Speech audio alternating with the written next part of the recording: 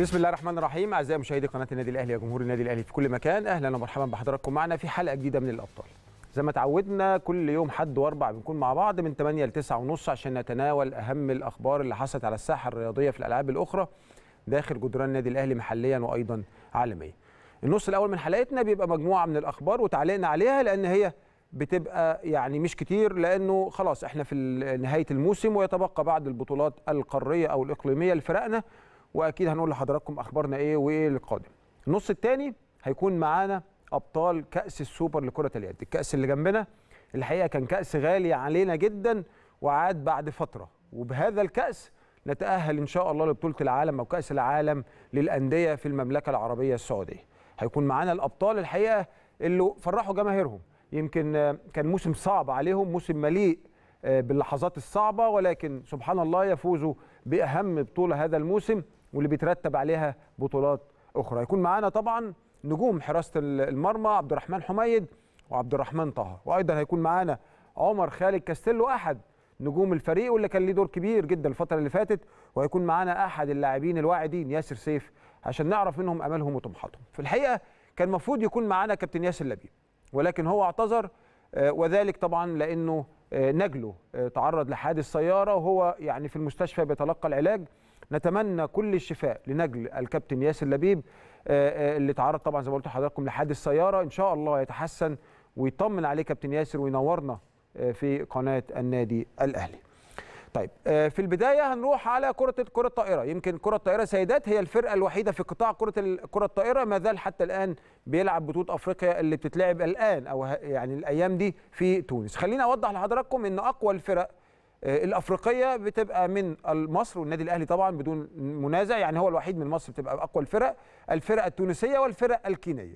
المجموعة وقعتنا مع أحد الفرق الكينية بل بل أفضلهم اللي هو فريق الأنابيب الكيني. وقعنا معاه واستطاع ولعبناه امبارح الحقيقة. واستطعنا بفضل الله وبمجهود اللاعبات وتركيز الجهاز الفني إن إحنا نفوز 3-1 الفوز ده كان مهم جدا عشان نتصدر مجموعتنا. وجاءت نتائج الأشواط 23 25 للأنابيب الكيني. جه الشوط الثاني 25 21 أهلي 25 22 أهلي 31 29 وزي ما حضراتكم شايفين ال game كان very close game والحقيقة ده جنبنا المباراة الفوزها دي جنبتنا إن إحنا نلعب مباراة قوية في قبل النهائي وهتوقع الانابيب الكيني في في مقابلة مع الفريق التونسي الحقيقة في قبل النهائي. وده أكيد هيكون يعني خطوة جيدة أو خطوة تقربنا كتير من ال final. فريقنا هيلعب الماتش اللي جاي في دور ال 16 يمكن زي ما قلت لحضراتكم الاتحاد الأفريقي للكرة الطائرة. سن سنة جديدة يعني أثناء بطولة الرجال. و... ونفذها كمان في السيدات إنه بعد التأهل بيلعب دور ال 16 الأول بيلاعب رابع المجموعة اللي بيرد عليها. إحنا عندنا الحقيقة مباراة تلعب الماتش الماتش الجاي إن شاء الله في دور ال 16 مع أسك ميموزا الايفواري من كوت ديفوار الفريق وهيكون بكرة الساعة 4 العصر على صالة محمد الزواوي مدينة الهوارية التونسية. ويعني برضه هنحاول كمان نجيب كابتن حمدي الصافي من تونس عشان نطمن على الفريق. بعد دقايق هيكون معانا إن شاء الله. يعني هم كانوا النهارده عندهم تمرين قوي وبنحاول نتواصل معاه عشان نطمن على فرقتنا هناك ونعرف أهم الاستعدادات ومين هيكون في طريقنا في قبل النهائي. ده دور 16 زي ما قلت لحضراتكم مع اسك ميموزا الايفواري وهنتكلم معاه عن احتمالات قبل النهائي تكون إيه وإن شاء الله احتمالات النهائي وهيكون معانا كابتن حمدي الصافي. أول ما يكون جاهز من تونس أكيد هنروح له. هنروح لكرة الماء. كرة الماء هتلعب بعد نصف ساعة من الآن. مباراة مهمة جدا مع نادي الزمالك. الفريق بقيادة مديره الفني كابتن وائل عزت هيلعب مع نادي الزمالك كمان حوالي نصف ساعة. زي ما قلت لحضراتكم 8 ونص والمباراة هتتلعب في حمام سباحة نادي الجزيرة. فرقتنا كسبت آخر ماتش ليها كابتن وليد عزت أنا آسف كابتن وليد عزت. هو رئيس جهاز ألعاب الماء والمدير الفني ولكن كابتن وائل عزت رئيس الجهاز إنما مدير فني ألعاب كرة الماء هو كابتن وليد عزت. فرقتنا كسبت آخر ماتش ليها قدام نادي هليوبلس وكان ماتش قوي جدا وخلص لصالحنا بنتيجة 8 7 الجهاز الفني لفرقتنا بيتكون من وليد عزت مدير فني زي ما قلت لحضراتكم. ووليد وصفي مدرب عام وعمر سامي مدرب وسيف ممدوح مدير إداري وسامي العشري إداري وخالد بن عيسى محلل اداء وأحمد أكرم أخصائي تأهيل. كل التوفيق بإذن الرحمن لفرقتنا إن شاء الله وتكلل مجهود موسم طويل بالفوز إن شاء الله. هنروح لنجمة التنس نجمة منتخب مصر والنادي الأهلي ميار شريف اللي لعبت بطولة رولان جاروس وحققت فيها إنجاز تاريخي كأول مصرية تفوز بأي مباراة في رولان جاروس. يمكن كان في مصريات كثيرات تأهلنا لهذه البطولة ولكن لم يفزنا بأي ماتشات فيها ولكن ميار استطاعت امبارح إنها تفوز في مباراة كبيرة ولكن للأسف بعد مباراة امبارح تعرضت لإصابة قوية وهي شرخ في القدم. وخلاها النهارده تنسحب. ميار اتصابت زي ما قلت لحضراتكم في الماتش بتاع امبارح ما فازت على بطل أوكرانيا بمجموعتين اللي ما فيش. كانت مفروض ميار هتلعب النهارده الدور الثاني من البطوله بكرة الدور الثاني وكانت هتلعب كمان الزوج المختلط ولكن للأسف للأسف أصيبت والإصابة هتقعد من ست لثمان أسابيع كل الشفاء وكل التمنيات بالشفاء السريع لميار الشريف. ميار ميار شريف دخلت من أحسن 50 لاعبة على مستوى العالم كنا نتمنى يعني الإصابة دي يمكن هتعطلها شوية ولكن هي يعني ذو إرادة فولاذية. وإن شاء الله نتمنى إن تحقق إنجاز أنس جابر لاعبه تونس الحقيقة اللي نجحت إنها تكون من top 8 players على مستوى العالم. إن شاء الله ميار ماشية بنفس الخطى يمكن إحنا كنا متابعين انس انس كانت من أول 150 لاعبة بعد كده بقت من أول 100 بعد كده دخلت 70 80 بعد كده وصلت توب 50 بعد كده وصلت دلوقتي بقت من أهم 8 لاعبات في العالم. آه كده الحقيقة نكون خلصنا أخبارنا المحلية. خبرنا النادي الأهلي. هنروح لأخبارنا المحلية. هنبتدي الأول بخبر الحقيقة. قريناه منذ يومين عايز أشارك حضراتكم معاه وهو يخص كرة السلة. كرة السلة زي ما حضراتكم عارفين إنه استقدم مدير فني كندي. الحقيقة وهو اللي تولى مهمه تدريب المنتخب روي رانا و تولى المسؤولية قبل ال window الأولانية لتصفيات كأس العالم اللي كانت في السنغال والحقيقة حقق فيها نتيجة جيدة بفوز مباراتين وهزيمة مباراة واحدة.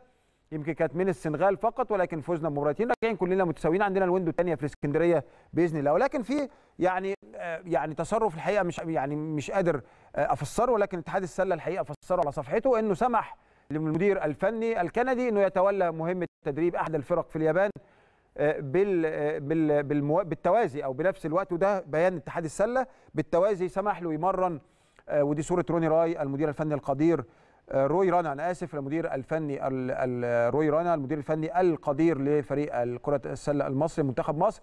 والبيان آه يعني جاء كالآتي. أتم الكندي روي رانا المدير الفني للمنتخب الوطني الأول اتفاقه مع منتخب كيوتو هاناريز أحد منتخبات ولايات اليابان على توليه المهمة الفنية له بداية من الشهر سبتمبر المقبل. ويبدأ روي رانا مهمته بشكل رسمي مع كيوتو الفريق يعني اللي هيمرنه بداية من شهر سبتمبر المقبل ويتواجد مع المنتخب الوطني بصورة كاملة في المرحلة الثانية والثالثة من التصفيات الأفريقية المؤهلة لكأس العالم والمحدد إقامتها في شهري يوليو وأغسطس المقبلين. كما اتفق المدير الفني المدرب الكندي مع فريقه الياباني الجديد أنه في شهر فبراير المقبل سيتواجد مع المنتخب المصري لخوض منافسات المرحلة الأخيرة من تصفيات كأس العالم حال تأهلنا لها.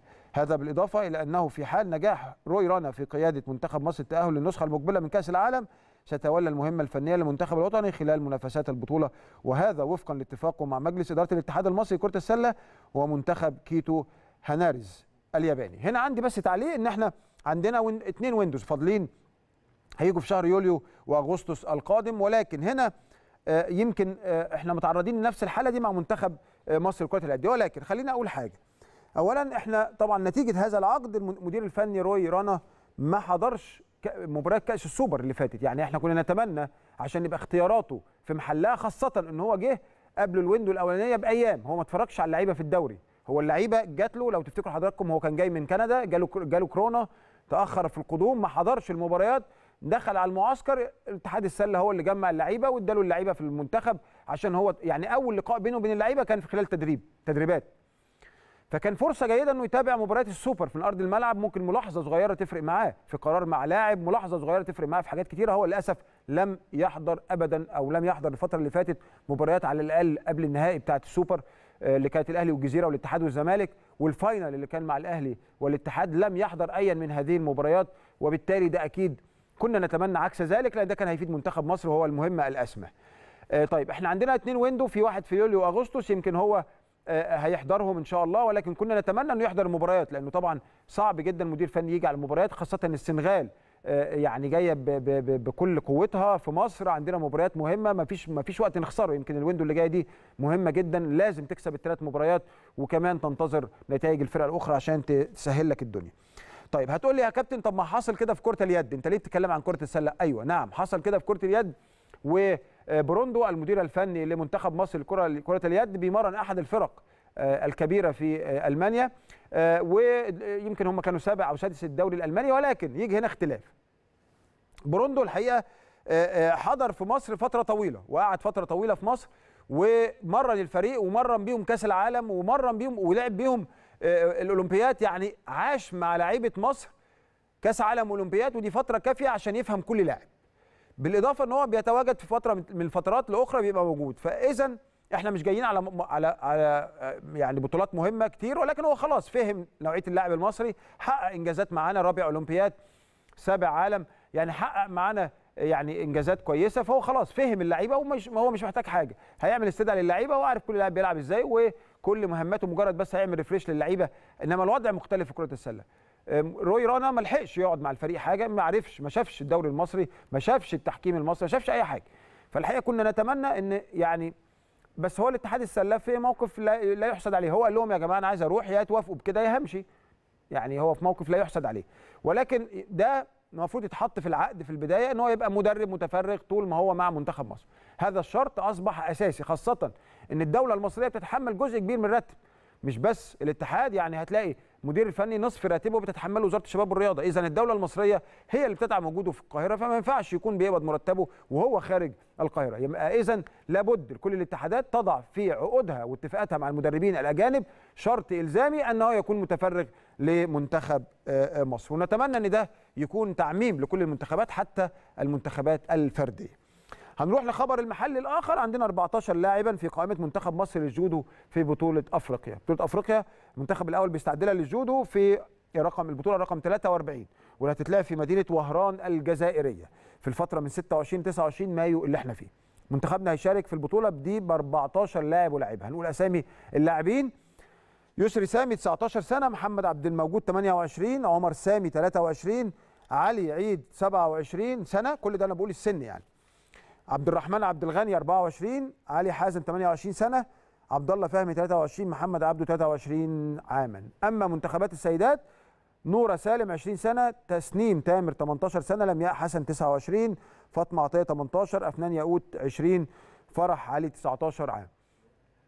وبيدرب منتخبنا الوطني في البطولة دي الأسطورة الأولمبية كابتن محمد رشوان رئيس جهاز المنتخبات في الاتحاد الجودو بيعاونوا حاتم عبد الآخر ومحمد علي ومحمد محيي وسيد أبو المي أبو ميدان ويترأس البعثه اللواء طارق عز الدين. طيب اللي عايز أقوله لك إنه آه يعني طب الجودو يعني آه لو نظرة كده على متوسط أعمار اللاعبين واللاعبات هتلاقوا يعني ب ب بالعين كده المجردة هتلاقوا متوسط 22 سنة 23 سنة وده العظمة في الموضوع. العظمة في الموضوع إن المنتخبين سواء رجال وسيدات أعمارهم صغيرة جدا. برافو كابتن رشوان انت بتبني للمستقبل الجودو من الألعاب المهمة لينا عشان نقدر نحقق فيها ميداليات أولمبية. متوسط الأعمار جيد جدا مع الاحتكاك ببطولة أفريقيا والبطولات الأخرى. أتصور إن شاء الله الجودو هيكون ليه شأن آخر في باريس وبعد باريس إن شاء الله في لوس أنجلوس بإذن الله. هنروح لخبر يخص تنس الطاولة. تنس الطاولة يعني قائمه قائمته لبطولة كأس أفريقيا بنيجيريا.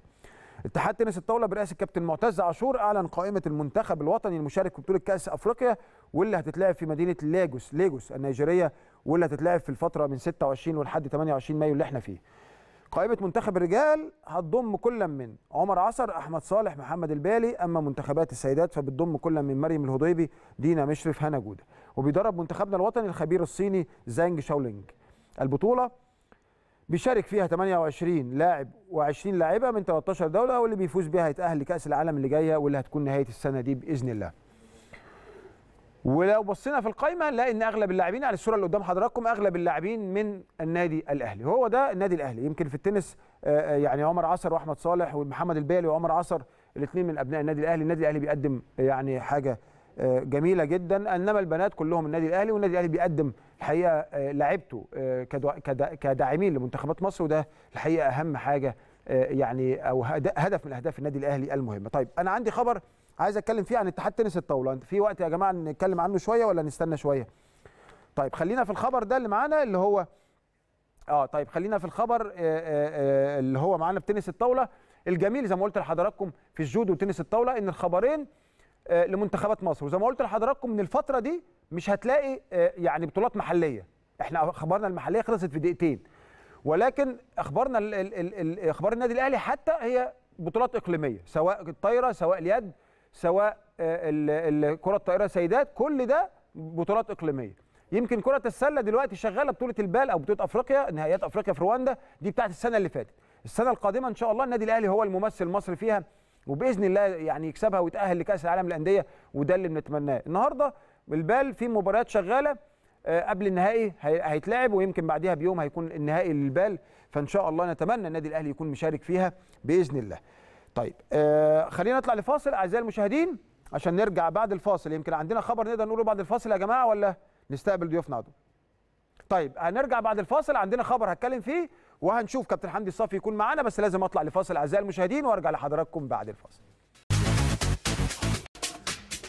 أهلا بحضراتكم من جديد. الحقيقة في خبر آه، يعني آه، محتاج أشاركه معاكم. هو الخبر كان يعني عنيف شوية يمكن مش متعودين على الأخبار اللي بتبقى عنيفة اللي بتيجي من اللجنة الأولمبية المصرية ولكن بيان كان قوي جدا. الحقيقة من يومين يخص تنس الطاولة.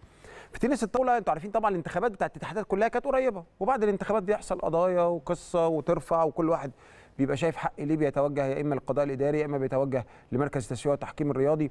يعني أنا واحد من الناس عشت تجربة زي دي. ولكن آه، في بعد انتخابات تنس الطاولة تقدم كل من الكابتن وليد عبد العال والسيد هشام أبو حشيش آه، لشكوى للجنة الأولمبية المصرية. اتهموا فيها عضوين في الاتحاد كسبوا الحقيقة يعني دخلوا الاتحاد كسبوا في الانتخابات لأن وليد عبد العال وهشام أبو حشيش كانوا مرشحين ولم يحالفهم التوفيق فراحوا اشتكوا اثنين من اللي دخلوا مجلس إدارة ونجحوا إن هم مقدمين ورق مزور. مش أنا اللي بقول اللي بيقول الخبر اللي بيان اللجنة الأولمبية المصرية.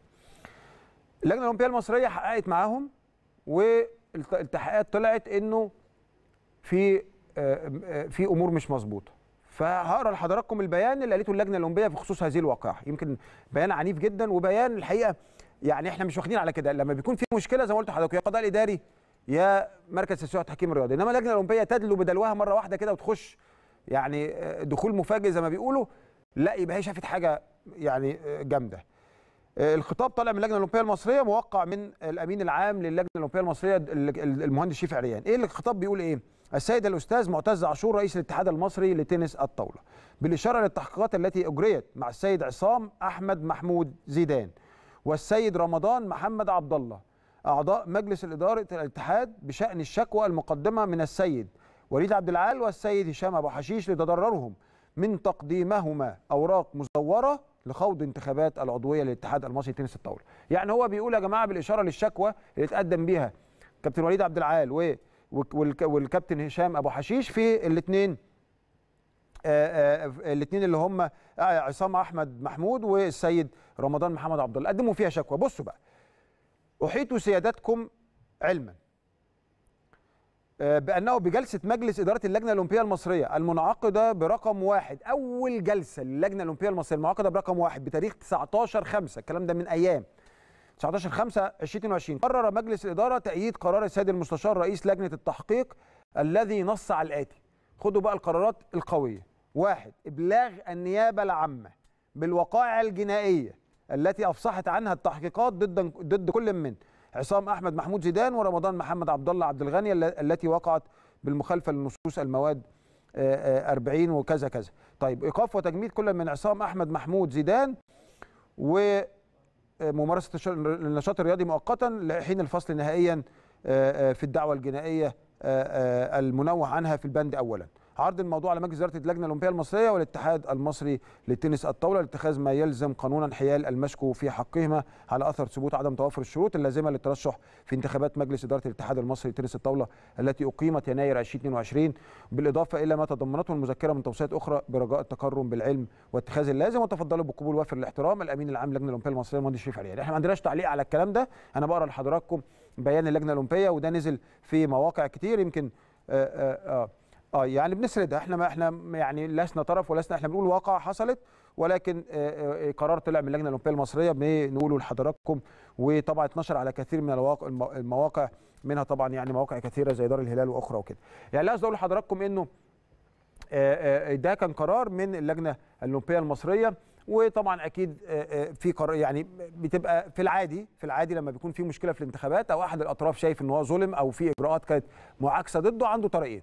يا مركز تسويه التحكيم الرياضي يا ال- ال- ال- ال- القضاء الإداري.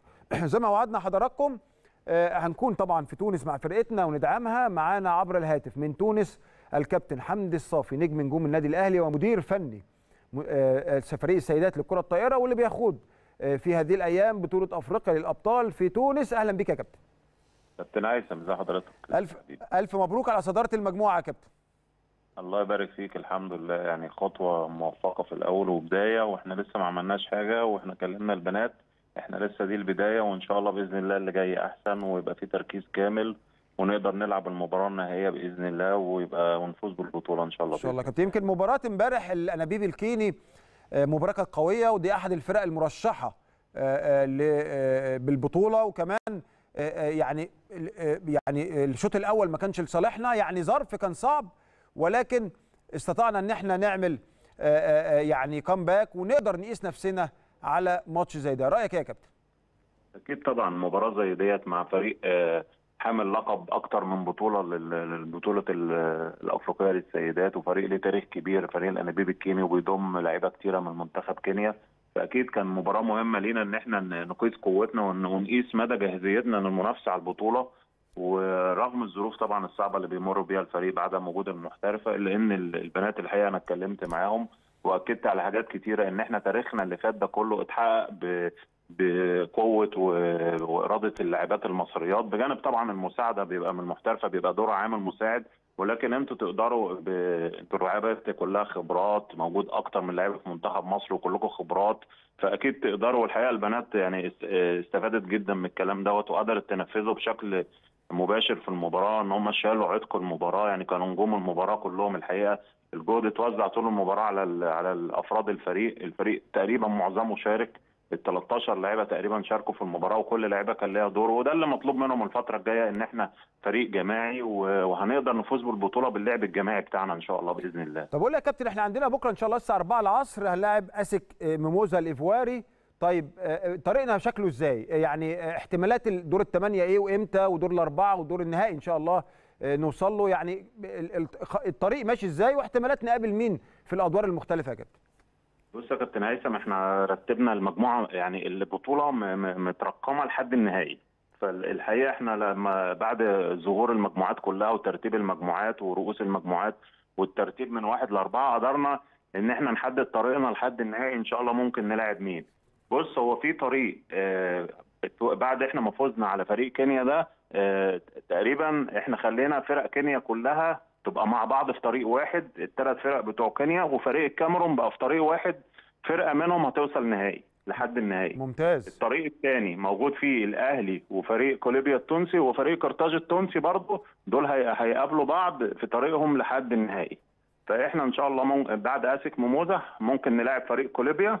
التونسي وبعديه ممكن نلاعب فريق قرطاج في قبل النهائي إن شاء الله. ممتاز. يعني ده لأنه طبعا بعد ما ترتبت الفرق زي ما حضرتك قلت خلاص بقى كل فريق. ويمكن مباراة امبارح دي يا كابتن كانت عنق زجاجة لأن أنت كده كنت هتخش في الحقيقة مباريات بدنيا عالية جدا. الفرق الكينية والفريق الكاميروني كنت هتصعب على نفسك الطريق يا كابتن حمدي. أكيد يا كابتن هيثم إحنا مباراة امبارح دي مباراة يعني كانت مهمة جدا بالنسبة لنا إن إحنا نبعد عن المباريات البدنية العالية إن أنت كنت هتلاعب تقريبا فرقتين من كينيا ورا بعض. قبل ما توصل لل- للمباراة النهائية فكان هيبقى الطريق صعب شوية علينا أنت عارف فرق كينيا كلها الثلاث آه. فرق الحقيقة مستويات عالية وقوة بدنية رهيبة يعني مش عاوز أقول لك يعني امبارح كان في يعني لاعب موجود مش عاوز أقول لك آه، زي الرجال لأ هو فعلا إمكانيات راجل يعني الحقيقة إحنا شفنا المباراة لو متصورة امبارح الناس كانت هتستعجب من القوة البدنية. لا راجل بيلعب قصاد البنات يعني الحقيقة يعني البنات امبارح أبطال بجد والله العظيم إن قدروا يقفوا قدام القوة البدنية العالية اللي بتلعب قصادهم امبارح دي يعني الحقيقة. خلي بالك يا كابتن وحضرتك طبعا كابتننا الكبير والأسطورة الكبيرة ما هو في أفريقيا الموضوع بيبقى كده. للأسف أنت بتروح بتصطدم بطاقات بشرية جبارة. يعني فالحقيقة البنات امبارح عشان يحولوا من 1-0 ل 3-1 لا فعلا يا كابتن فرقتك حاجة تشرف. الحمد لله والله كابتن هيثم إحنا اتكلمنا معاهم وقلنا لهم الموضوع آه، مش مش صعب ولا هو سهل. الموضوع عاوز تركيز وإحنا بنتكلم ومركزين قوي في الحتة ديت. اللعيبه مركزة جدا ونفسهم يجيبوا البطولة دي لجمهورهم وللنادي بتاعهم عارفين إن في دعم كبير جدا. من جماهير النادي الأهلي. آه، وراهم وهم مقدرين دوت وكل اللاعبات الحقيقة ما فيش حد بيبخل بأي جهد ولا أي عرق آه، لصالح الفريق ودي حاجة يعني أنا بعد المباراة على طول اجتمعت بيهم و- و- وحييتهم وما اتكلمتش في الفنيات بس اتكلمت على حاجة واحدة قلت لهم يا جماعة الروح اللي بتلعبوا بيها دي هي روح النادي الأهلي ودي اللي هيكسبنا. أنا محتاج الروح دي في كل المباريات. لو لعبتوا بالروح دي في كل المباريات إن شاء الله البطولة بتاعتكم يعني بإذن الله. ويمكن يا كابتن دعم كابتن محمود الخطيب الحقيقة للكرة الطائرة بشكل عام رجال وسيدات واجتماعهم وفطار والفطار اللي كان آه، مع حضراتكم قبل يعني انتهاء رمضان بأيام. بيتهيألي كان دعم كبير. حتى فريق الولاد ما كان معانا من يومين الحلقة اللي فاتت فريق الرجال الحقيقة قالوا إن ال- اللقاء ده كان لقاء مهم وكان دافع كبير جدا للفريق. أكيد طبعا يا كابتن هيثم حضرتك عارف الكابتن محمود الخطيب ما, ما بيسيبش أي فريق بيمثل النادي الأهلي سواء محليا أو افريقيا. الحقيقة القعدة دي أثرت جدا في البنات بعد الفوز بالدوري والكاس وزي ما أثرت في فريق الرجال بقوة والحمد لله قدر يخرج من الكبوة بتاعته. رفعت معنويات البنات جدا وكلهم عارفين إن مجلس الإدارة كله بي- بيشجعهم وبيدعمهم. عندنا اتصالات كل يوم من كابتن خالد العوضي مدير النشاط الرياضي وبيبلغنا تحيات الكابتن خطيب وإنه مركز معانا وبيتابع النتائج بتاعتنا. مجلس الإدارة الحقيقة كله واقف في ظهرنا. إن شاء الله بإذن الله الدعم دوت يتوج بالبطوله إن شاء الله بإذن الله إن يعني شاء الله يا كابتن حمدي. وعايز أقول لحضرتك أبشرك إن شاء الله قناة الأهلي هتبقى معاكم في قبل النهائي والنهائي إن شاء الله زي ما عملنا مع الرجال. وهنذيع بإذن الرحمن إن شاء الله آه، آه، مباراه قبل النهائي والنهائي وإن شاء الله نكون داعمين ليكم كل التوفيق لك يا كابتن حمدي الصافي. شكرا يا كابتن هاشم. شكرا لحضرتك ودعواتكم معانا. إن شاء الله. وسلامنا لكل اللاعبات. كابتن حمدي الصافي المدير الفني لفريق النادي الأهلي الأول للكرة الطائره سيدات من تونس من خلال بطولة أفريقيا. بشكرك شكرا جزيلا. يمكن زي ما قلت لحضراتكم مباراة امبارح الانابيب الكيني سهلت جدا علينا الطريق. تخيلوا بقى إحنا دخلنا في سكة أبطال كينيا ثلاث فرق كينيا معاهم الكاميرون. كان ممكن اللاعبات توصل على ال final مج- مجهدات جدا جدا ولكن الحمد لله المكسب بيجيب مكسب ودفاع حلو. إن شاء الله نستطيع إن إحنا نفوز مباراة بتاعت بكرة ونخش بعد كده على كوليبا التونسي ونخش كمان على قرطاج التونسي في النهائي. يا رب يا رب إن شاء الله ويتوجنا بكاس أفريقيا عشان يكون مع الرجال بجانب الرجال في آه، الأهلي الجزيرة. خلينا نطلع لفاصل أعزائي المشاهدين عشان نبتدي نستضيف أبطالنا أبطال السوبر. الأفريقي لكرة اليد. أحد الكؤوس الغالية على قلوبنا هذا الموسم لأنه هيطلعنا بعد فترة طويلة إلى super global أو super globe بطولة العالم أو كأس العالم للأندية لكرة اليد اللي بتقام في السعودية. بعد الفاصل هيكون معايا نجم حراسة المرمى عبد الرحمن حميد ونجم الفريق عمر خالد كاستيلو ولكن بعد الفاصل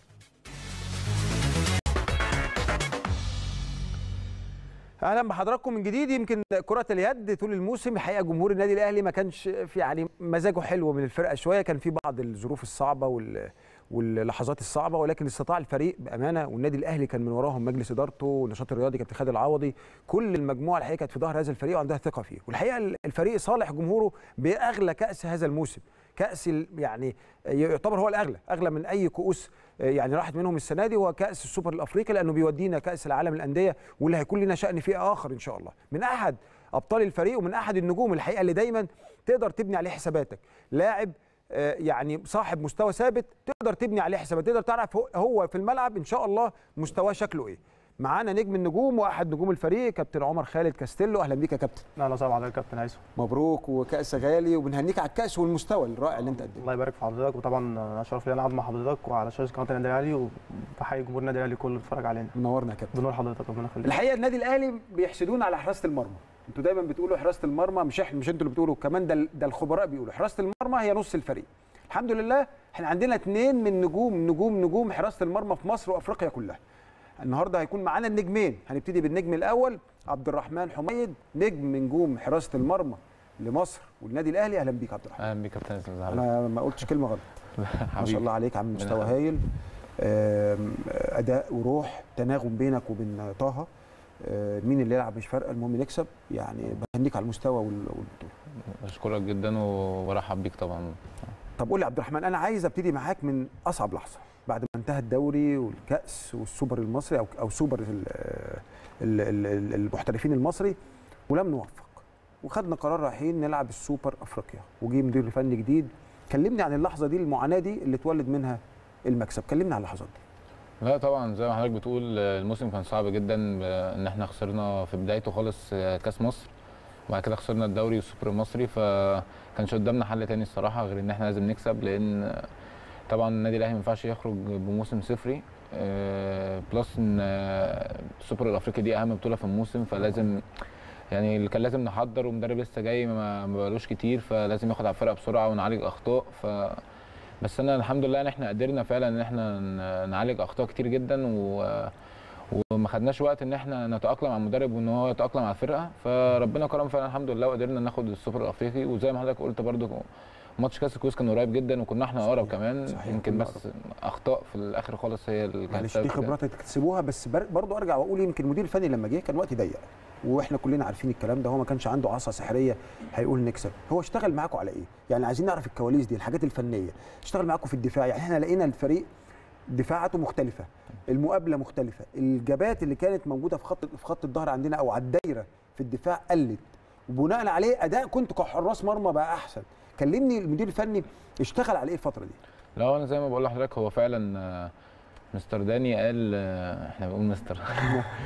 آه، قال إن إحنا أهم حاجة عشان نقدر نعالج أي حاجة إن إحنا نبقى مقتنعين إن إحنا عندنا أخطاء وإن إحنا نحاول نصلحها. كل ما بتقلل أخطائك كل ما بتبقى أحسن. وممكن تكسب. فهو اشتغل على على أخطائنا إحنا مش يعني الأول كان مطلع الزمالك بره الحسابات خالص إن إحنا لازم نعالج أخطائنا إحنا الأول صح. وبعد كده نبدأ نحضر ليهم. وفعلا كنا بنشتغل قعدنا حتى سافرنا أسبوع خمس آه، خمس أيام أو أسبوع المغرب عشان يعني نتأقلم مع بعض أكتر وإن هو يبقى كويس. يعرفنا أكتر بس فعلا طلعنا الأسبوع ده في المغرب كنا بنعالج أخطائنا إحنا بس, بس وقلنا لما نروح على فرقته بس بالظبط. وقلنا لما نروح النيجر بقى نبدأ نحضر الزمالك نتفرج عليهم نشوف أخطائنا قدامهم هم بالذات كده بس وفعلا ربنا كرمنا الحمد لله إن إحنا في ماتش السوبر قللنا اخطائنا جدا.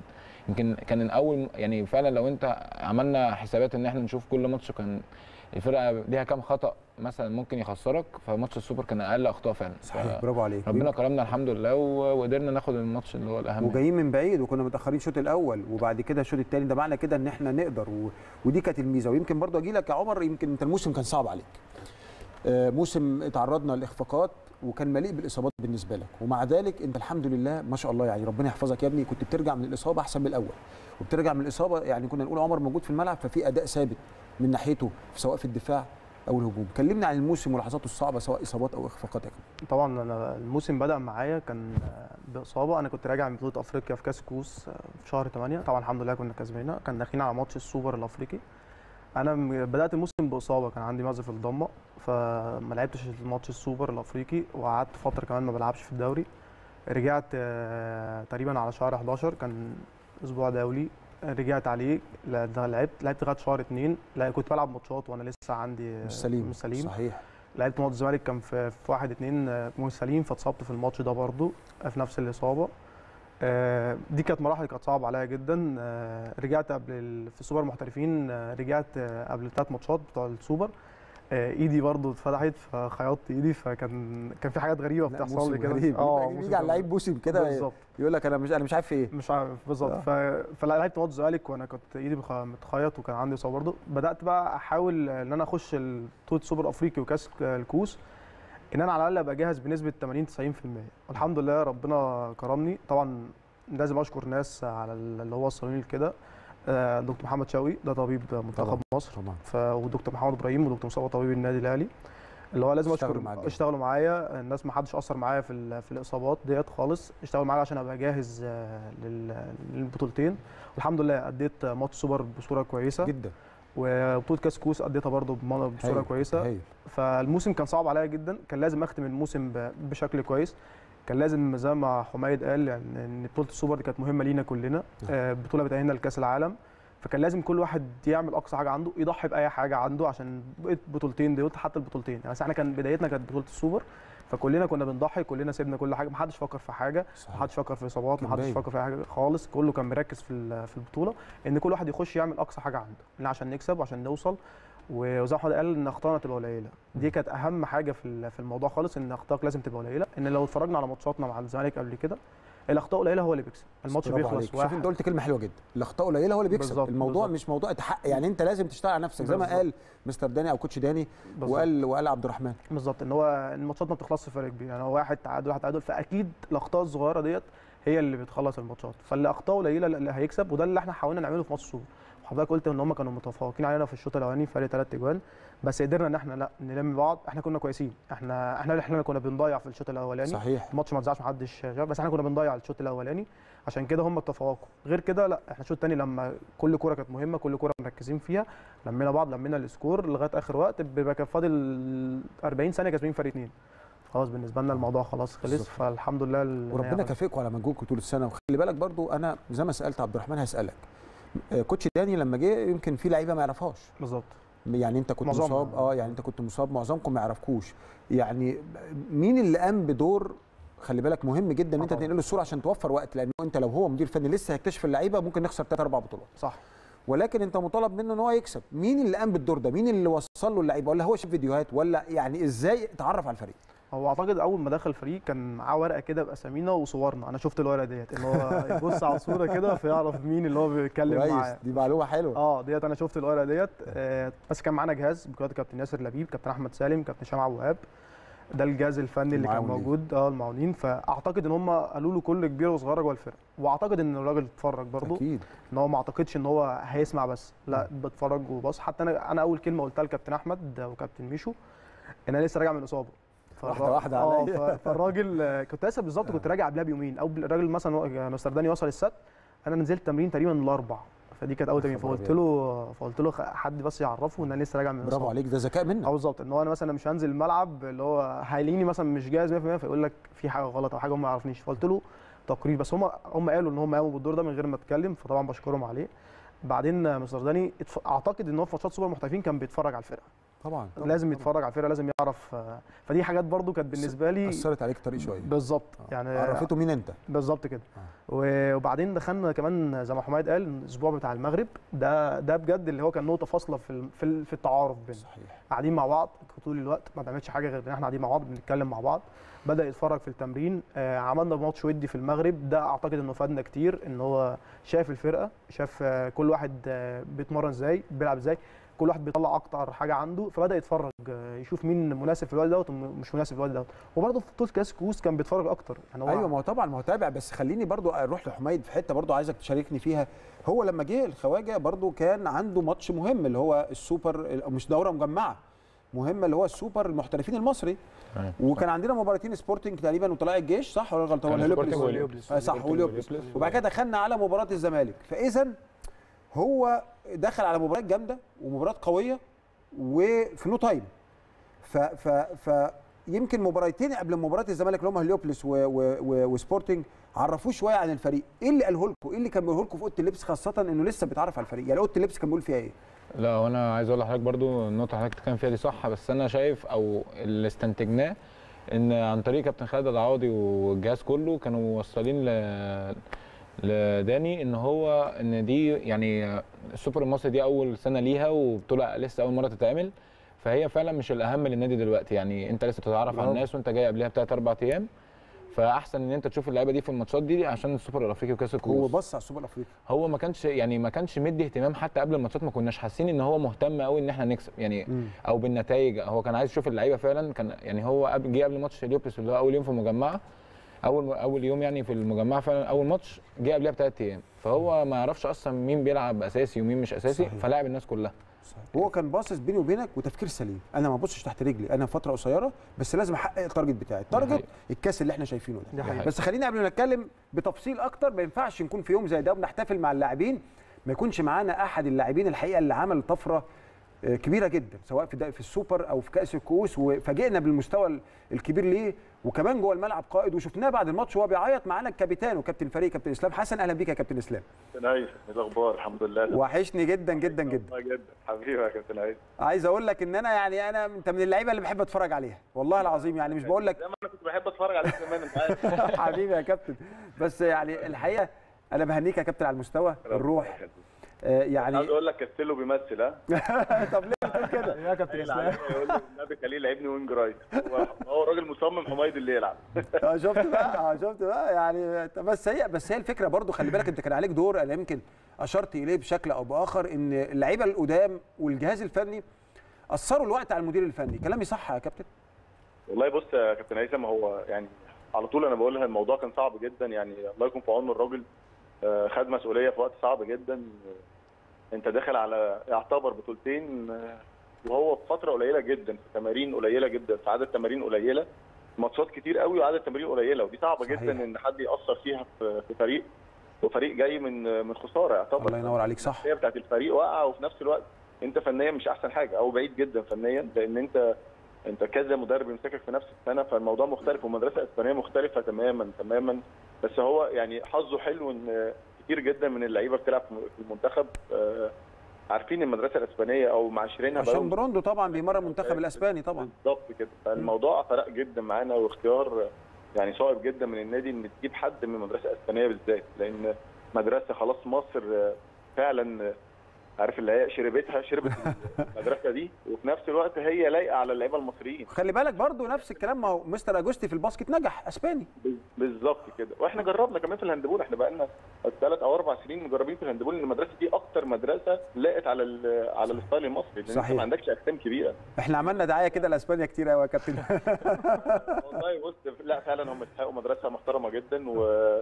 وخلي بالك إحنا لو ال quality بتاع اللعيبة قليل ما كانش هتنفع معانا. لا يا كابتن لا يا كابتن. quality quality قليلة يا كابتن يا كابتن أنتوا أحسن فريق في مصر. والله ما بنقول كده عشان اللي أنا بتكلم فيه إن. ال quality بتاعت اللعيبة ساعدت المدرسة دي. إنها تنجح. طبعا طبعاً. طبعا. ولسه كابتن عندكم كتير بس خليني أقول أنت كان عليك دور كبير يا كابتن إسلام لأن أنت كابتن الفريق والقائد للفريق. فكان عندك مهمتين. مهمة نفسية لأن اللعيبة الحقيقة تعرضت لإخفاقات كتيرة بالرغم إن إحنا كنا أغلب هذه الإخفاقات إحنا الأفضل. ومهمة تانية فنية إن أنت عايز بسرعة نقف على رجلينا عشان ما نطلعش بموسم صفري. كلمنا عن المهمتين ونجحت فيهم إزاي يا كابتن إسلام؟ بص مش لوحدي عشان ما بقولكش إن أنا شايل كل حاجة لوحدي لا مش لوحدي بصراحة. آه، هي ليها كذا جانب. طبعا ال- المدربين ليهم كل الاحترام كابتن أحمد سالم وكابتن ميش وحتى الدكاترة وكل الناس ليها احترامها.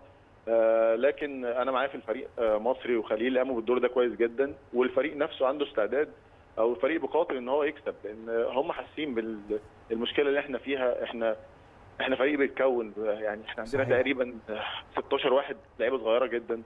فإن أنت بتكون الفريق ده وبيحصل تجديد في الدماء ده بيبقى موضوع صعب جدا. لكن إحنا بأمانة ربنا اللعيبة دي ساعدتنا جدا. آه، اللعيبة إحنا ما حسيناش إن هم صغيرين. آه، دماغهم كبيرة جدا عقلياتهم إن هم محتاجين إن هم يكسبوا على طول عشان المكسب. ده فرق معانا جدا وساعدنا إن إحنا الكلام اللي بنقوله أو الكلام اللي إحنا عاوزين نحفزهم بيه هم من جواهم هم مستوعبينه جدا. فده بيسهل الطريق جدا علينا.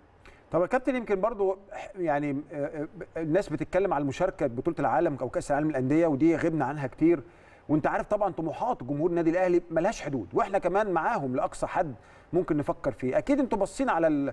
على كأس العالم عايزين تأدوا فيه أداء كويس خاصة إن في أخبار جاية من الاتحاد الدولي إن إحنا نتجنب بطل أوروبا في البداية. شايف شايف مشاركتنا ممكن تبقى تاريخية المرة دي يا كابتن؟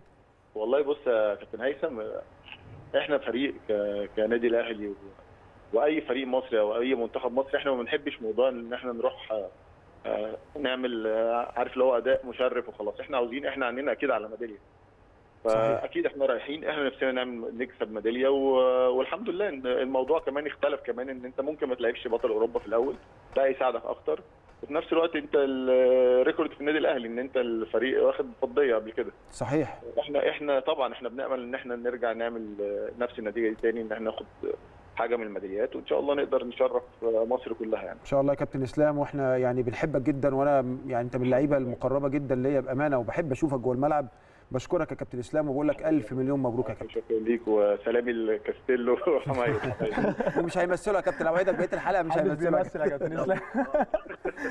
حبيبك حبيبي يا كابتن إسلام. كابتن إسلام. حسن كابتن فريق كرة اليد بالنادي الأهلي وأحد نجوم مصر. بشكرك شكرا جزيلا. يمكن أجي لك يا حميد يعني الجميل في فريقكم انها صغيرين. يعني أنتوا حتى ما شاء الله ضيوفنا النهارده كلهم سواء آه، عمر سواء انت سواء طه سواء آه، سيف كلكم لعيبة صغيرين. آه، بينقصكم بعض الخبرات بنكتسبها يمكن بلحظات صعبة. ولكن أكيد زي ما قال كابتن إسلام أنتم مصدقين نفسكم إن أنتم فعلا أحسن مجموعة في مصر. والله فعلا هو كابتن إسلام بيتكلم في نقطة إن إحنا يعني إن هم إن هم ما حسوش إن إحنا لعيبة صغيرة بس إحنا برضو لازم نوفيهم كلهم حقهم اللعيبة الكبيرة في الفرقة اسلام ومصري ومصطفى خليل وحجاج ان هم فعلا برضو ما هم اللي بيخلونا ما نحسش ان إحنا لسه صغيرين أو ان إحنا لسه بنبدأ. فبيوفروا علينا كتير جدا في الطريق الصراحة ان إحنا نحس ان إحنا ان هم معتمدين علينا وواثقين فينا دي بتوفر كتير قوي فعلا. طب قول يا حميد يعني يمكن انت ليك طقوس قبل المباراة ما شاء الله أنا يعني عارف القصة دي وعارف ان انت يعني بتنزل مركز قوي. وأولوياتك الأولى والثانيه والثالثه هي اليد كرة اليد. أنت مركز في ال handball بشكل كبير. كل اللي بقعد معاهم بيقولوا نفس الكلام. قول لي طقوسك قبل المباراة إيه؟ يعني مثلا رايح ماتش السوبر الأفريقي ماتش صعب وأنت 50% أنت آه، وطه من قوة الفريق بتروح تعمل إيه؟ يعني إيه طقوسك وأنت رايح الملعب؟ آه يعني أنا عندي حاجة إن أنا ما بحبش أروح الماتش لابس أصلا خالص. يعني ببقى لابس لبس خروج ما يعني بح- بح- بحب إن أنا أدخل في الماتش قبل الماتش نص ساعة مثلا أبدأ ألبس آخر حاجة خالص. ممكن آه يعني دي بقى حاجة شخصية مثلا أقرأ قرآن آه يعني آه بعد ما بقرأ قرآن هي حاجة غريبة بسمع أغاني. حلو ما دي بتحمسك مش بس هو كلها تبقى أغاني حماس يعني مش بحس إن هي برضو ممكن تدخلني وممكن أسمع أغاني للأهلي أصلا. تحب تنام الظهر شوية ولا ما بتنامش؟ آه أحب أنام قبل الماتش؟ جدا الصراحة. بتحب تنام قبل الماتش. ولازم دش كده ساقع. يفوق الدنيا. أنا عرفت أنت بتفكر أنت من اللعيبة اللي ما بتحبش تخش في mood المباراة. أنا اخش mood المباراه وأنا في الملعب ما احبش اشد نفسي. بقى بالظبط كده بحس إن أنا ممكن تقلب إن هي تبقى تركيز زيادة أو صح. أو مثلا ضغط أكتر عليا فبحس إن أنا محتاج أفصل لحد ما أوصل الملعب ببدأ بقى خلي بالك أنتوا أكتر مركز محتاج تركيز. أنت الجزء من الثانية بيفرق. ده طبعا أنت reflect أنت reaction للكورة. بالظبط هو كمان بيبقى فيه جوان يعني طبعا أنت بتتفرج على الفرقة قبل ما تلعبها أو بتحضر للماتش كويس. في طبعا الاجوان بتفضل تحب تتفرج كذا مرة تحب ت- تتفرج قبل الماتش على طول. فانا مش من النوع ده الصراحة. بحب اتفرج ليلة الماتش مرة وانام. وخلاص. خلاص بقى افصل وأروح على الماتش. يمكن برضو نفس السؤال ليك يا عمر. يمكن أنت أكيد ليك بس هو الموسم طبعا كان صعب عليك. أنت ما فيش طقوس كانت السنة ما لحقتش تعمل طقوس. ولا بس مسك يعني ختامها مسك. ربنا كرمك. الحمد آخر لله كرم يعني. الحمد لله. أنت طقوسك إيه؟ هل أنت زي حميد بتحب تروح آه، على المباراة على طول ولا بتحب تركز؟ يعني قول لي طقوسك إيه؟ بالظبط هو مثلا إحنا مثلا بنصحى مثلا لو فطرنا بنفتح نفطر مثلا. فمثلا في ساعتين قبل الغدا نوم. حلو. حلو ف فلازم حلو أ- جداً. آه ساعتين بعد الغدا نوم فبنام. بعدين بعد الغدا بقى بفضل ممكن أشغل شوية أغاني في الأوضة. أنا عامة برضو زي حميد كده ما بركزش قبل الماتش خالص. برافو. خالص اللي هو أنا مثلا مجرد ما أخش أوضة اللبس ونبدا المحاضرة أنا كده في أنا. كده مركز. قبل كده قبل كده مش موجود. أنا عادي جدا ممكن آه. أفضل أهزر وأضحك وعادي وأسمع أغاني. يعني أنا مثلا بعد بننزل بنتجمع بقعد بقعد في الباص أشوف مثلا لو حد شادد مثلا نتكلم معاه شوية اتكلم معاه شوية. آه، حد مركز قوي فخلاص نزود تركيزه ونسيبه. بعدين ننزل بيبقى دايما هي في سماعة في ودني بنسمع أغاني بقرأ قرآن طبعا قبل قبل ما أخش الأوضة قبل ما أخش الأوضة بقرأ شوية قرآن. بعدين أخش الأوضة خلاص ببدأ أجهز ببدأ ألبس ببدأ أركز خلاص هنا دي بداية التركيز عندي. بس قبل كده بحس إن هي مثلا زي ما حماد قال إنها شوية تركيز زيادة فممكن تقلب عليا أنا بعكس. تلاقي أنا مش شادد نفسي آه، مركز قوي فممكن أنزل الملعب عامل كده flow آه. ممكن تلاقي نفسك overthinking أو بالظبط. هتلاقي نفسك آه، يعني بره بره وكمان بقى ممكن أبقى بره الماتش كمان اللي آه،. هو اللي هو أنا مش موجود أنا مش مركز ليه لأ ده تركيز زيادة أنا مركز آه. بس ده تركيز زيادة. فبحس لأ أنا ممكن أكون أهدى شوية آه ما باخدش. ما باخدش دش خالص قبل الماتش شوف تبقى عكسك ما تقعد- ما تقعدوش مع بعض في الاوضه عشان تتابعوا بعض هو بيبقى عايز يجيب جوان أنا ببقى عايز اصد كل واحد ما عشان كده بسأل كل لاعب بطقوس خلي بالك أنا الحاجات دي بخش يعني أنا كوميدية جدا. ما باخد ما باخدش دش قبل الماتش آه. خالص بحس ان إن في حاجة. هفصل حاسس إن آه، أنا جسمي خلاص. فلا آه، هو كده خلاص طب قول. لي بتزعلوا لما الجمهور ينتقد يعني مثلا لو ادينا أداء وحش بتزعلوا من الجمهور لما ينتقد مش انت... الانتقاد اللي هو يفيدني أنا ما عنديش فيه مشكلة آه. بس اللي هو مثلا انتقاد بزيادة بيزعل. بي- لو حتى لو بزيادة بس في مصلحتي أو مثلا هو شايف لو أنا عملت مثلا حاجة غلط فاتقالت أنا ما عنديش مشكلة. أو مثلا ساعات لو بزيادة أو مثلا في تجريح أو في حاجة ده بيزعل. طبعا لا إحنا ضد أي تجريح ب- و- فمثلا أنا مثلا عندي بابايا أو مامتي طبعا دول يعني طبعا بشكرهم آه. بشكرهم على أي حاجة عملوها معايا والناس ساعدوني جدا في اصابتي عامه هو كانوا مستحملين. معلش هو يشكر اهله وأنا ما اشكرش اهله اشكر يا باشا خد راحتك. هتجيلك هتجيلك فلا هم بجد استحملوني جدا في فترة الإصابة إن أنا كنت في mood غير طبيعي. كنت وحش. قوي فهم استحملوني فبشكرهم طبعا كمان ان هم بيشوفوا حاجات زي ديت فاكيد بيتضايقوا. واي مش أنا لوحدي اي اي بس خد بالك دي. الضريبه يعني يعني انت آه طبعاً، ده حقيقي، أنا في موافق. آه، بالظبط، يعني أنا موافق. انت, لازم تتعرض لكل ده ولا ده جزء من الضريبه أنا. موافق في في مزايا في عيوب أنا. برضه في مزايا ان أنا بلعب في نادي كبير ونادي جماهيري ان أنا طول الوقت معروف وفي العيوب ان أنا أكيد. هينتقد وده طبيعي وكلنا بنتاقلم في قصدك الانتقاد بدون تجريح بالظبط هو ده أنا ما عنديش مشكله في الانتقاد خالص ما عنديش مشكله في الانتقاد خالص طبيعي حاجة كويسه بالظبط اللي أنا طب اشوفه طب نروح نروح لحمايد يعني انت أكيد اسرتك تعبت معاك آه أكيد طبعا بصراحه أنا برضو تعرضت لإصابة في بداية الموسم كده في كتفي غريبة جدا ما بس أنت ما طولتش لا أنا مكمل فيها لحد دلوقتي لسه. لا ده أنت ما اتخانقت أساسا. معاه- اتخانقت أنا- معاه في ماتش الكاس والله؟ كوس عشان ما كنتش أعرف. هو. كتفه مش عايز طالع في وسط بيك فقلت له حمايد إيه في إيه؟ قال لي بس والله كتفي وجعني لا أنا فعلا والله الإصابة كانت المفروض تاخد مني مثلا أسبوع. لو أنا ريحت ما ريحتش كان دوري في السوبر المصري في أفريقيا. ف باظت ده. وأنت مصاب. لا ما, ما بعرفش أباصي أصلا. ده أنا أنا يعني بقول لهم لصموني على الصد والباص أنا مش هباصي بعيد. لازم حد بيقرب لي. كان حتى إسلام حسن عارف كان دايما يجي لي كده يقرب. وبرده طبعا زي ما كاستيلو قال لازم أشكر الدكاترة اللي وقفت معايا. دكتور عمرو يوري دكتور منتخب ودكتور محمد شوقي دكتور منتخب ودكتور مصطفى نجيب دكتور محمد إبراهيم. الناس دي ما اثرتش معانا في حاجة الصراحة بالذات آه، وخلي بالك بالرغم. من خسارتنا كأس الكؤوس الأفريقية بس أنت كنت نجم الحقيقة وأنا كنت متابع المباراة كنت نجم من النجوم والحقيقة جبت لنا كذا مرة ادفانتج إن إحنا ممكن ناخد المباراة بس يعني قدر الله ما شاء فعل بس دي حاجة كويسة. أنا نفسي الوقت يطول أنا كان عندي كلام كتير جدا أقوله بس أنا بشكركم طبعا عشان. نستقبل آه، زملائك التانيين. حميد نورتني وشرفتني وألف مليون مبروك. بنقول يا كابتن هيثم ومبسوطين جدا طبعا إحنا كنا معاك وشرف لينا. الشرف ليا يا حبيبي وعمر بشكرك شكرا جزيلا ويا رب يبقى الموسم القادم بدون إصابة. يا رب إن شاء الله. طبعا عندك بشكر تاني الدكاترة اللي عشت معاها فترة طويلة سواء دكتور عمرو دكتور شوقي دكتور محمد إبراهيم دكتور مصطفى. دول الناس تعبت معايا جدا وبشكر أهلي تاني وبشكر أي حد وقف جنبي الفترة اللي فاتت في الفترة الصعبة ديت. وطبعا شرف ليا إن أنا كنت موجود مع حضرتك النهارده. ومبروك. علينا كاس سوبر ومبروك على جمهور النادي الأهلي كل كلنا. الشرف لينا وإحنا بنشكركم ونشكر كل من واقف جنب الفريق حتى يتوج بكأس السوبر الافريقي خلينا نطلع لفاصل أعزائي المشاهدين عشان بعد الفاصل هنستقبل بإذن الله عبد الرحمن طه أحد نجوم حراسة المرمى وأيضا ياسر سيف اللاعب الصاعد الواعد بقوة ولكن بعد الفاصل. أهلا بحضراتكم من جديد وزي ما قلنا لكم الحمد لله بفضل الله يعني ربنا يحفظهم. إحنا عندنا أحسن حراسة مرمى في مصر. الحقيقة عندنا نجمين كبار. كان معانا النجم الأولاني في الفترة في الفقرة الأولى عبد الرحمن حميد معانا نجمنا الثاني في حراسة المرمى وأحد أفضل حراس المرمى في مصر وفي افريقيا في الوقت الحالي. معانا عبد الرحمن طه أهلا بيك عبد الرحمن. أهلا بحضرتك وألف مليون مبروك. كأس يعني انتظرناه وانتوا وعدتوا واوفيتوا بهذا الكأس. الله يبارك في حضرتك. الحمد لله كانت فترة صعبة الفترة اللي فاتت دي. الحمد لله قدرنا نفرح آه، جمهور النادي الأهلي ببطولة غالية من البطولات الغالية اللي في السيزون.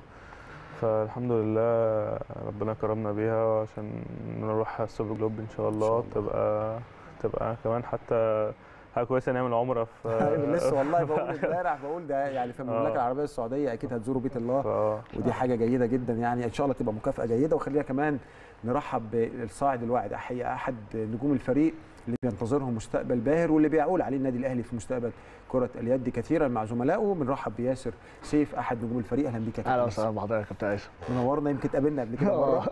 والموسم عدى بسرعة والحمد لله طالعين بكأس هو الأغلى. يمكن كان في لحظات إخفاق ولكن ربنا كرمكم بكاس هو الأغلى آه، وبعد كده إن شاء الله هنتأهل لكأس العالم. خلينا نتكلم عن الفترة الصعبة يا ياسر.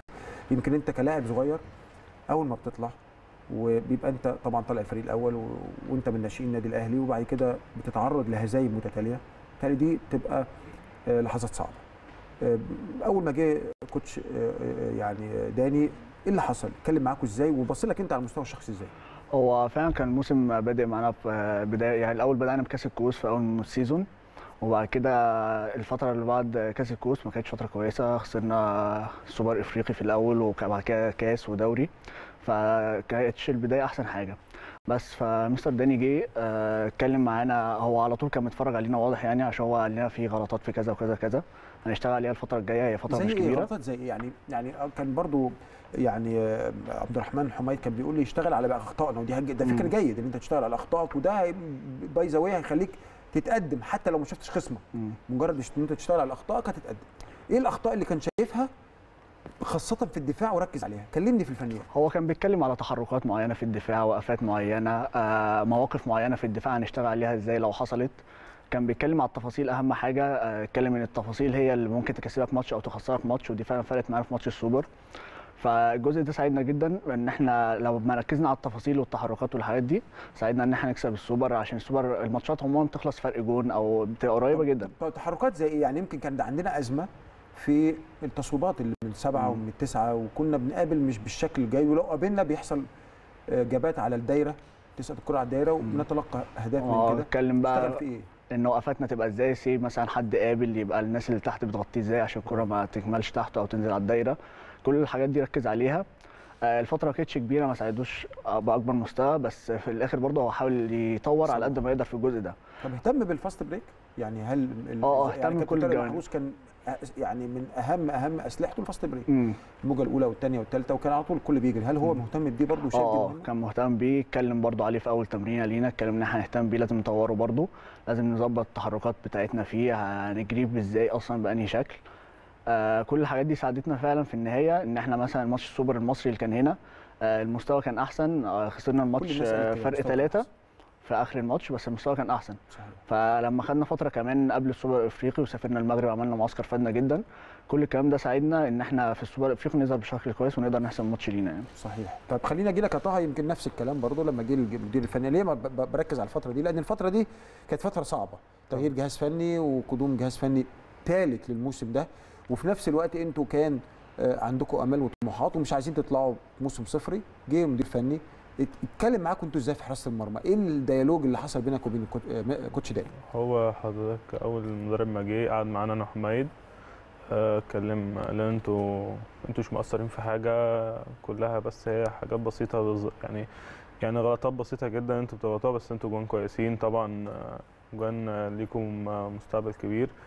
آه، لنا الفترة الجاية أنتوا هيبقى عليكم load يعني load زيادة عشان أنتوا خلاص إحنا داخلين أهم بطولتين صحيح. في ال season. آه، وبالذات يعني بالذات كمان بطولة السوبر. آه، قال لنا بصوا أنا أنا يعني هعمل لكم كل حاجة هيئكم كل يعني هخليكم توصلوا للمرحلة اللي أنتوا توصلوا في الماتش ده أعلى حاجة وصلتوها في ال season. فالحمد لله. طب إيه الحاجات البسيطة اللي قال لكم أنتوا ناقصاكم يعني هل مثلا ناحية بدنية؟ تركيز ناحية فنية. يعني إيه برضه الفنيات برضه آه، بنحب نعرفها ونحب نلقى عليها الضوء لأن جمهور النادي الأهلي مهتم بيها جدا. آه الفنيات هو ما دخلش فيها يعني يعني ما دخلش فيها كتير بس هو كابتن مدرب الحراس معانا كابتن خالد عثمان آه، قعد معانا لنا يعني بقينا نقعد خلاص بقى وإحنا في المغرب.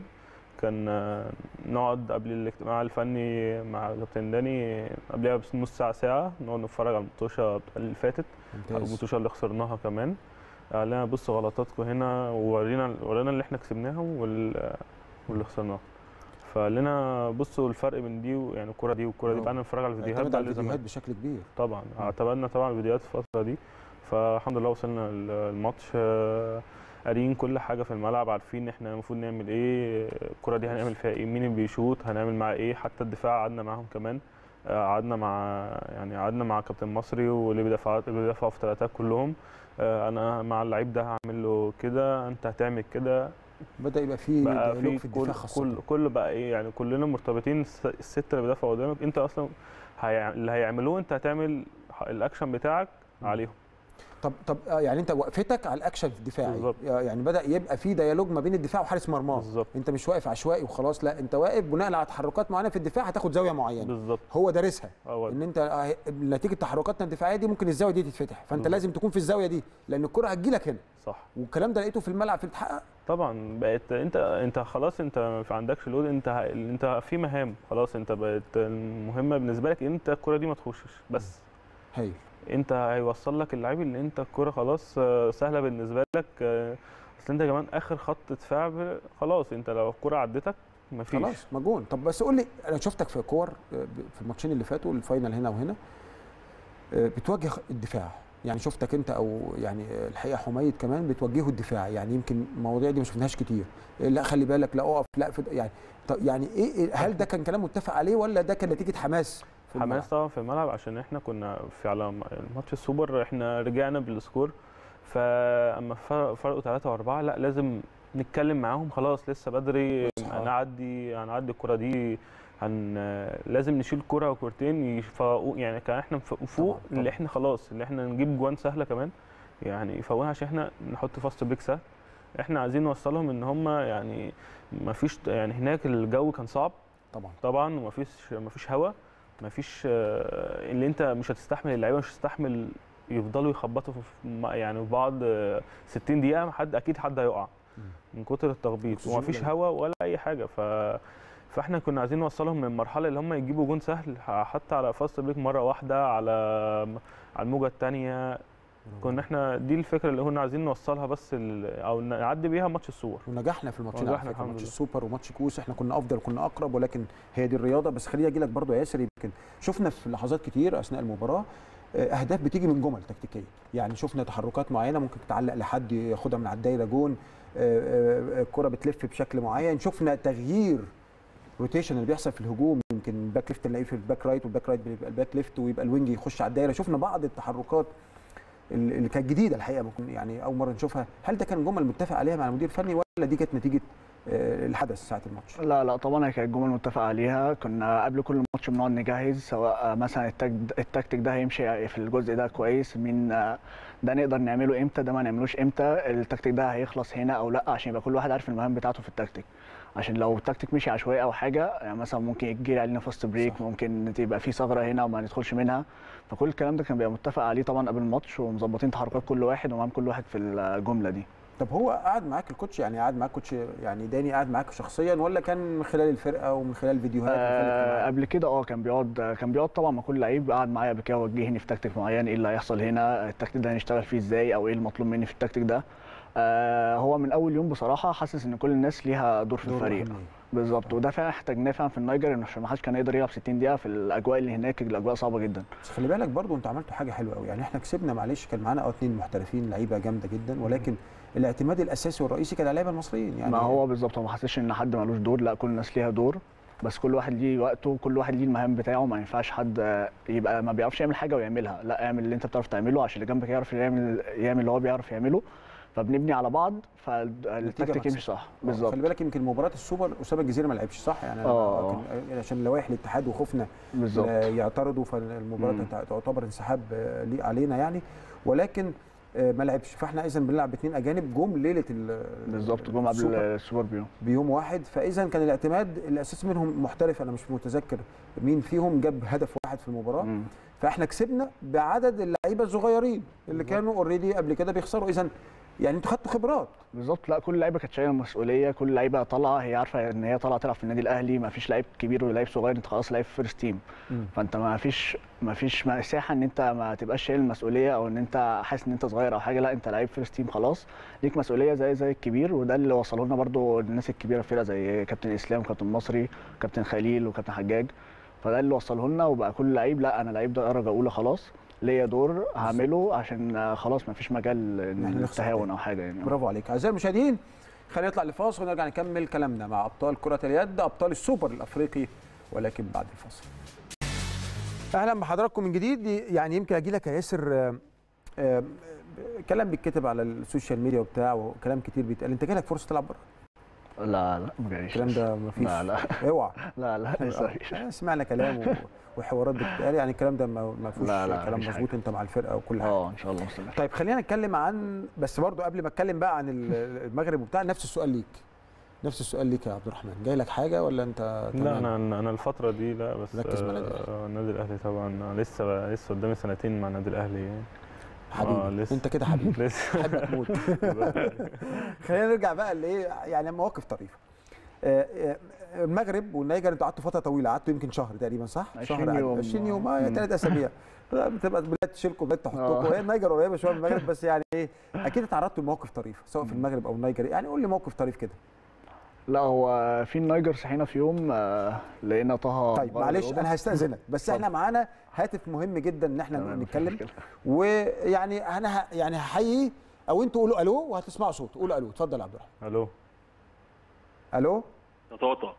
إيه مين؟ ده عاصمه الطيار. الطيار الله ينور عليك. معانا طبعا من ألمانيا نجمنا ونجم حراسة المرمى عصام الطيار المحترف بألمانيا كأول حارس مرمى مصري يحترف بالدوري الألماني. أهلا بيك يا عصام. كابتن هيثم أهلا وسهلا بحضرتك آه، طبعا وحشنا وبنقول لك طبعا بالتوفيق وكنا نفسنا تبقى معانا في الاستوديو بس انت موجود الغائب الحاضر يعني. آه الأول أهلا وسهلا بحضرتك. أنا اتشرفت إن أنا بكلم حضرتك يعني. تشرف لينا عصام آه ومبسوط إن أنا بكلم الرجالة اللي كانوا عند حسن ظن النادي وحسن ظن الجمهور. الأول قبل أي حاجة يعني ألف مبروك بطولة السوبر. وأنا طبعا باركت لهم ب- ب- يعني على المستوى الشخصي باركت لهم من من فترة يعني بس ببارك لهم تاني. وألف مبروك آه، لطه وحميد. وربنا يكرمهم يعني إن شاء الله ويكرم الفريق وتبقى حاجة إيجابية إن شاء الله يعني نبني عليها إن شاء الله السنين الجاية. طب قول لي يا عصام يعني ماتش السوبر الأفريقي أنت تابعته ولا كان في فرق توقيت؟ يعني آه، شفت المباراة إزاي ولا تابعتها إزاي؟ آه، طبعا كان في لا هو طبعا دلوقتي مفيش فرق توقيت بين بين ألمانيا ومصر يعني. كان في مشكلة في موضوع البث ده. آه، بس كان آه، كنت أنا متابع مع اللعيبة ال- آه، اللعيبة اللي كانت بره. فكنت على طول مكلمهم ومتابع معاهم يعني تقريبا الماتش آه، خطوة بخطوة يعني. كان في أوقات بنحاول إن إحنا نخطف لنا كام لقطة كده من الماتش. أوقات كان بيحصل وأوقات ما كانش بيحصل. بس يعني كنا متابعين أول بأول يعني. كنا قاعدين على أعصابنا كأنها نتيجة ثانوية عامة يعني. طبعا الناس ما كناش ما كناش مصدقين إن إن إحنا مش عارفين نتفرج على على ماتش أهلي وزمالك يعني بالقوة دي وفي ال وفي ال ويعني حاجة مصيرية يعني. طبعا أكيد. وخليني أتكلم معاك برضو عن تجربتك. أنت راجل يعني بتلعب في لايسبيج الألماني وتجربة مع فريق من الفرق الكبيره وهي مقاطعة أصلا كبيرة والرياضة هناك رقم واحد. آه، آه، بس خلينا أتكلم عن تجربتك. تقيم تجربتك بعد عدة شهور إزاي يا عصام؟ آه، طبعا هي تجربة هي تجربة مش يعني تجربة الحمد لله مفيدة جدا ليا. على المستوى الشخصي آه، طبعا الموضوع مش آه، مش مش سهل يعني إن آه، أنت تروح وتتأقلم وبتعرف دوري من أول وجديد وبتحاول إن أنت تتأقلم على عيشة وعلى دوري وعلى لعيبة جديدة وعلى كل حاجة جديدة يعني يعني كأنك كده واحد عنده سبع سنين طلع من كان بيتدرب في مدارس مثلا وطلع فجأة في فرقة هي صحيح. هي نفس طبعا مش نفس ال- مش نفس الكونسبت يعني بس يعني قصدي إن أنت بت- بت- بتعرف كل حاجة جديدة. حتى وشوش جديدة. كل الكلام ده طبعا في الأول بيخطف صعب بيخطف ال- التركيز وخصوصا كمان في طرق المعيشة إن أنت بتبدأ تسافر وتعيش لوحدك. طبعا التجربة كلها على بعضها هي تجربة مفيدة جدا الحمد لله. ليا على مستوى الش... على المستوى الشخصي. كل الكلام دوت أنا ما اتكلمتش على المستوى المهني. بس على المستوى المهني اللي هي رياضيا لا هو الحمد لله حاجة مستفيد منها جدا حتى حتى هذه اللحظة يعني وحاسس بيها يعني الحمد لله. طب انت يمكن أكيد في صعاب قابلتك. يعني يمكن رمضان هناك في ألمانيا بيكون المغرب متاخر جدا. آه، التجربة دي كانت إزاي؟ خاصة إحنا حاولنا تكون معانا في رمضان بس لم نوفق. بس آه، آه، يعني من ضمن الحاجات يعني لما حضرت رمضان في أوروبا كنت بقعد الساعة 9 المغرب يمكن. الكلام ده كان بيحصل معاك في ألمانيا ولا لا يا عصام؟ دي حقيقة. آه، طبعا إحنا طبعا كان كان عند كان حظي كويس جدا إن إحنا كان عندنا أسبوع دولي في رمضان. قعدنا فيه حوالي مثلا أسبوع وكان الدوري فيه توقف وكده فقعدت حوالي 11 أو 12 يوم من رمضان في مصر. بس طبعا ال- وكان حظي كويس برضو إن ما كانش فيه ماتشات كتير في رمضان. كان فيه ثلاث ماتشات تقريبا. آه، طبعا الموضوع كان صعب جدا في رمضان. عشان إحنا هنا صح. كنا بن بنصوم آه، الساعة مثلا 4 ونفطر الساعة 9 وصلنا آخر يوم رمضان إحنا بنوصل- نفطر الساعة 9 فالوضع ما كانش أسهل حاجة. خصوصا طبعا. كمان إن التمارين هم أكيد هم أكيد بيقدروا بيقدروا جدا. أنت صايم. بيقدروا جدا آه بيقدر جدا إن أنت صايم. آه بس التقدير اللي هو آه بيقدر ديانتك بيقدر صيامك بيقدر كل حاجة. بس التقدير اللي هو أنا هعمل لك اللي أنت عايزه عشان أسهل لك الموضوع. بس مجرد إن أنت نزلت تدريب أو نزلت ماتش فأنا خلاص بقى. أنت أنت محترف. تدريب أو نزلت ماتش. محترف. بالظبط. أنت راجل ده محترف. أنت راجل ده أكل عيشك. آه، في نفس الوقت أنت خلاص. نزلت التدريب هطلب منك ال 100% بتاعتك. مش مش مش هاخد بالي بقى انت صايم أو مش صايم. لا بالعكس هو يسخر لك كل حاجة يجيب لك أكل كويس يسحرك وكذلك حتى أنا لما كان بيبقى عندي معسكر أو ماتش كان كان المدرب نفسه هو اللي بيصحيني يصح- يعني يخليني يصحيني يفكرني بالسحور يعني. حاجة جميلة طبعا جدا. كل الكلام ده حاجات إيجابية حاجات إيجابية جدا طبعا. آه، بس الموضوع كان صعب رياضيا كان صعب جدا. صحيح بس انت قدها وقدود عصام إن شاء الله ونتمنى نشوفك قريب وإن شاء الله نتابع بكرة قرعة كأس الأمم الأفريقية اللي أكيد تهمك مع منتخب مصر كابتن عصام الطيار حارس مرمانا المحترف لايسبيج الألماني. من ألمانيا بشكرك شكرا جزيلا. يمكن أجي لك يا ياسر قبل اللقاء بقى عشان شوية فرفشة كده. قول لي بقى يعني بعض المواقف الطريفة اللي حصلت في المغرب والجابون. كنا في النيجر تقريبا أنا آه تاني يوم أو أول يوم آه صحينا لقينا طه مغير الأوضة. مين اللي مغير اوضه؟ طه. طه ليه؟ طه إيه اللي حصل؟ خليل. آه طلع لقوا فار عندهم الساعة 5 الفجر. الله الله. والفار مش طبيعي. الفار مش إيه؟ طبيعي اللي هو بتاعنا. لا هو فار مثلا كده. تمساح. مش فار. مش طبيعي والله. نسر. يعني أنا أنا نايم لقيت خليل قبل يعني أنت قاعد مع خليل في الأوضة؟ آه. تمام. اليوم اللي قبله حاسس يعني هو قال لي صحاني قال لي طه في حاجة في الأوضة. فقلت له خليل أنا مش قادر سيبني أنام أنا مش مصدق أنام من هناك أصلا إن أنت تنام عشان من كتر الحر أنت نفسك تنام مفيش ساعة. تكييفات في الأوضة؟ لا مفيش مفيش مفيش أي حاجة. في تكييف بس مفيش يعني مفيش، مفيش حاجة. أي حاجة. آه. مفيش حرارة هناك عشان تاني في الأوضة؟ هو خليل سمع فأنا قلت له يا خليل. فتاني يوم أنا قاعد على السرير فلقيت حاجة بت- بتجري. آه. فقلت لا في حاجة. فلقيتها بدأ الصوت يعلى يعلى يعلى. فصحيت خليل قلت له يا خليل آه، في حاجة في الأوضة خليل. أنا كل ده يعني بحسبها مثلا أصل هناك السحالي والحاجات دي عادي. لا عادي جدا. أنا قلت يمكن سحلية. أنا قلت سحلية عادي. هفتح لها الباب وتمشي يعني تمشي، آه. هتفتح هي آه، ت- تخرج. تخرج هي. آه. ففتحت الباب وواقف ببص على ببص على الصوت اللي جاي منه لقيته طالع في وشي. الله. رحت طبعا جاي أنا أنا اللي طالع بره. أمال فين أسد؟ الأهلي وحامي حمج مرمى النادي الأهلي بتخاف من الفار. عبد الرحمن. أنا قلت أكلم فيصل بقى صاحبي يعني آه، فيصل قلت فيصل، بقى. آه، قلت فيصل، آه، يجي 2 يخلص، يشوف حل يخلص. الموضوع ده. آه. فلقيته لا أنا بخاف أصلا من الفيران. لا ربنا معاك بقى يا عبد الرحمن. رحت كلمت الإداري قلت له عايز أغير الأوضة بعد إذنك بس طبعا. ليه خير؟ لا عندي فار بس. طب أنت رحت بقى تلاقيك طول السفرية انت شاكك في أي أوضة. فيها أي صوت بقى أي أي صوت. يحصل. كلنا شاكين بس خلاص بقى حضرتك انت انت هناك انت بقيت تغطى نوم. قاطع قاطع كل طب حاجة. كلمنا عن الناموس أخبار إيه؟ والله العظيم هناك الناموس مفيش ناموسية هناك. مفيش. ده هي سحالي إزاي؟ و... سحالي بس. بس- وبراس لا بسيطة. ده إحنا نحمد ربنا اللي عندنا ناموس بس. بس يعني يعني المواقف دي أكيد بتدي روح حلوة في الفرقة وهزار وضحك. بس ما آه إحنا. كنا رايحين يعني 15 يوم في النيجر فعاملين حسابنا إن هم يبقوا صعبين شوية. فإن فوز السوبر برضو جه في أول السفرية صحيح. ده خلى يعني آه. أول سفرية عارف خلاها لو كان في- العكس كانت هتبقى بالظبط. ما ده اللي كنا كنا- بنقول قبل كنا قبل الماتش عاملين حسابنا كنا إن إحنا ما ينفعش نخسر برضو وربنا كرمكم آخر كرم والله لله. بجد الحمد لله الحقيقة الوقت. بيجري بسرعة يعني أنتم ما شاء الله نجوم وحاجة جميلة بشكرك يا ياسر نورتيني وشرفتيني وأتمنى ليك كل التوفيق شكرا يا كابتن ياسر بحب اشكرك وأشكر قناه الاهلي والجماهير وعيلتي كمان أحب أشكرها آه شكرا على اللقاء ده وإن شاء الله نبقى في لقاءات تانية كتير بإذن الله السنة الجاية إن شاء الله كوز كتيرة بإذن الله. الله عبد الرحمن الله. بشكرك عبد الرحمن طه نجم نجوم النادي الأهلي وحريصه مرمى الأهلي ومنتخب مصر بشكرك ربنا عبد الرحمن. يخليك وأنا مبسوط إن أنا كنت مع حضرتك وطبعا اللقاءات مع حضرتك كتير طبعا فأشكرك تاني و... وأشكر النادي الأهلي وأشكر الجمهور اللي وقفوا معانا الفترة اللي فاتت دي وإن شاء الله المزيد من البطولات والإنجازات إن شاء الله السنة الجاية بإذن الله. إن شاء الله. والقادم أفضل لكرة اليد وده كان لقائنا النهارده مع الأبطال. أبطال السوبر الأفريقي وإن شاء الله الموسم القادم سيكون أفضل وتكون بطوله العالم للأندية هي الانطلاق. بشكركم شكرا جزيلا على حسن المتابعة وانتظرونا في حلقة جديدة مع الأبطال.